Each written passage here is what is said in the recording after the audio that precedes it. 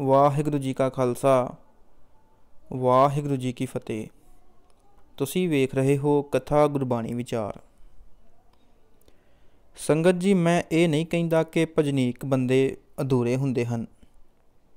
ਉਹ ਭਜਨ ਕਰਕੇ ਅੰਦਰੋਂ ਤਾਂ ਸਫਲ ਹੋ ਗਏ, ਪਰ ਸੰਸਾਰ ਨਾਲੋਂ ਸੰਬੰਧ ਤੋੜ ਬੈਠੇ।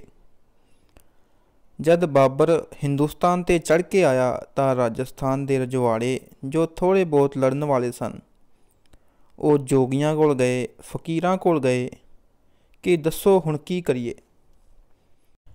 ਬਾਬਰ ਬੜੇ ਲੰਮੇ ਚੌੜੇ ਲੌ ਲਸ਼ਕਰ ਨਾਲ ਆਬਾਦੀਆਂ ਸਾੜਦਾ ਹੋਇਆ, ਬੰਦਿਆਂ ਨੂੰ ਮਾਰਦਾ ਹੋਇਆ, ਅਸਮਤ ਲੁੱਟਦਾ ਹੋਇਆ, ਦੌਲਤ ਲੁੱਟਦਾ ਹੋਇਆ, ਇਸ ਢੰਗ ਨਾਲ ਆ ਰਿਹਾ ਹੈ।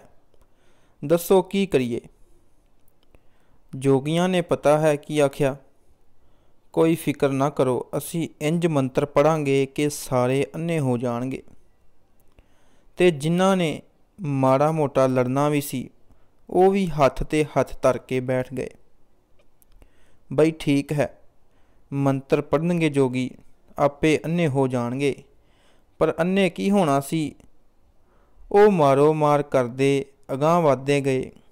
ਸਾਹਿਬ ਸ੍ਰੀ ਗੁਰੂ ਨਾਨਕ ਦੇਵ ਜੀ ਨੇ ਇਹਨਾਂ ਜੋਗੀਆਂ ਤੇ ਗੁਰਬਾਣੀ ਵਿੱਚ ਕਟਾਕਸ਼ ਕੀਤਾ ਹੈ ਕਿ ਕੋਈ ਮੁਗਲ ਨਾ ਹੋਆ, ਅੰਧਾ ਕੀਨਾ ਨਾ ਪਰਚਾ ਲਾਇਆ।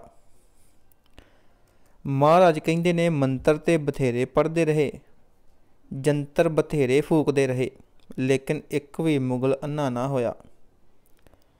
ਹਿੰਦੁਸਤਾਨ ਦੀ ਦੌਲਤ ਲੁੱਟੀ ਗਈ, ਇਸ ਦੀ ਅਸਮਤ ਲੁੱਟੀ ਗਈ, ਇਹ ਤਬਾਹ ਤੇ ਬਰਬਾਦ ਹੋ ਗਿਆ।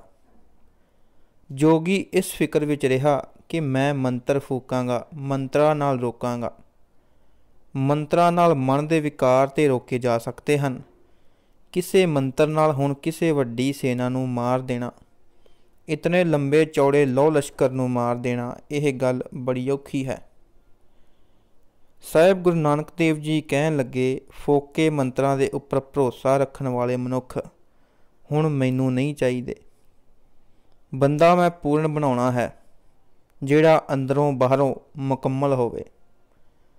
ਗੁਰੂ ਨਾਨਕ ਦੇਵ ਜੀ ਨੇ ਇੱਕ ਮੁਕੰਮਲ ਤਸਵੀਰ ਬਣਾਉਣੀ ਚਾਹੀ ਜਿਸ ਨੂੰ 250 ਸਾਲ ਲੱਗੇ ਤੇ ਗੁਰੂ ਗੋਬਿੰਦ ਸਿੰਘ ਜੀ ਨੇ ਮੋਹਰ ਲਾ ਦਿੱਤੀ ਤੇ ਸਿੱਖ ਮੁਕੰਮਲ ਹੋ ਗਿਆ।